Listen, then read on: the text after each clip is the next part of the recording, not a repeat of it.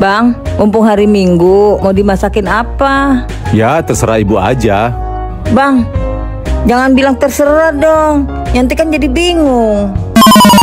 Ya udah deh, masak opor ayam aja. Jangan opor, kenapa bang? Ayam lagi mahal.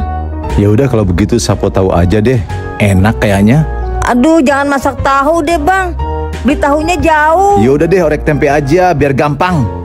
Tempe lagi, tempe lagi. Nggak ada bosennya bang. Ya udah makanya terserah. Kok abang jadi marah? Ngajakin berantem nih pagi-pagi. Siapa yang ngajakin berantem? Sebenarnya lu mau masak apa sih? Nggak jadi masak. Males gue. Mendingan gue main ke rumah tetangga. Uh.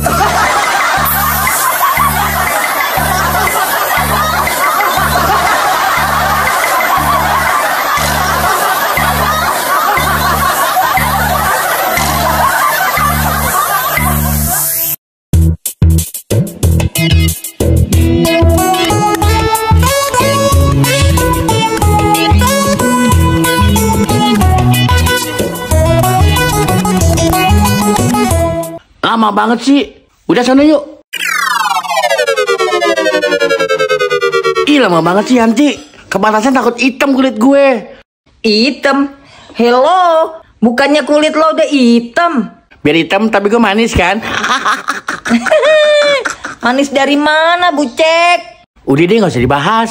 Lu mau denger gosip baru nggak? Gosip apaan sih? Gue sampai buru-buru nih ke sini. Gue sampai pura-pura ngambek sama laki gue. Sabar dong. Ini gosip paling hot. Udah buruan ceritain. Jadi gini Yanti. Aduh.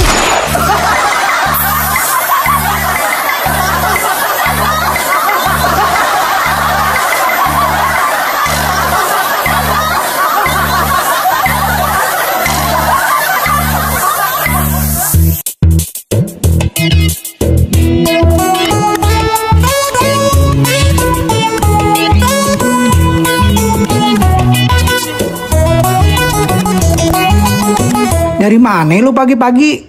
Baru ketemu si Bucek. Tadinya mau ngegosip. Eh si Bucek nyungsep. Biarin aja, kapok dia. Ih jangan gitu loh. Tulang ekornya kena. Sekarang lagi ke tukang pijit. Hukuman buat tukang gosip. Gua aja sering digosipin. Emang lo digosipin apa? Gue digosipin Yanti. Masa katanya gue bencong? lo digosipin apa? Katanya gue bencong. Bukannya benar lo bencong.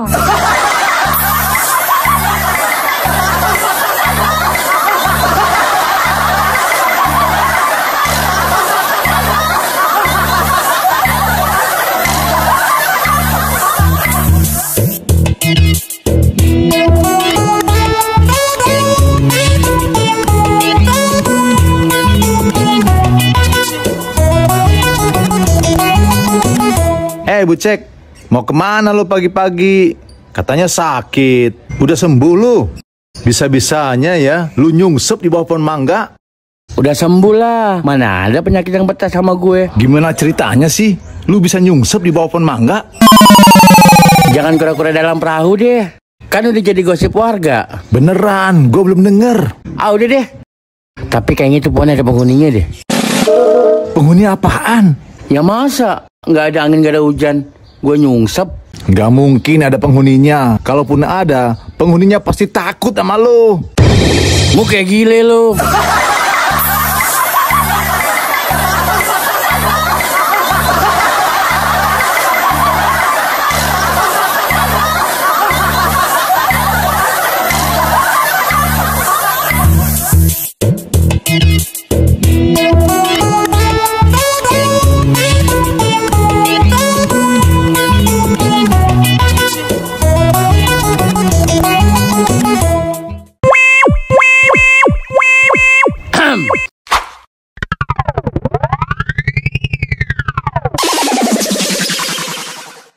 Hei tukang gosip, ngapain lu ngatain gue banci?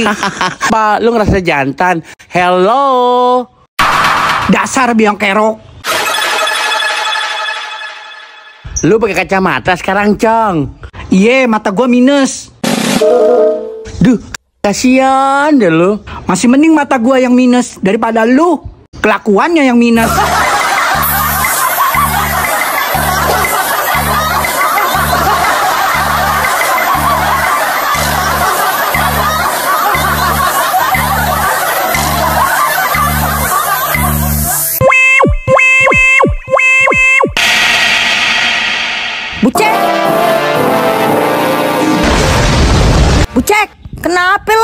Kesurupan.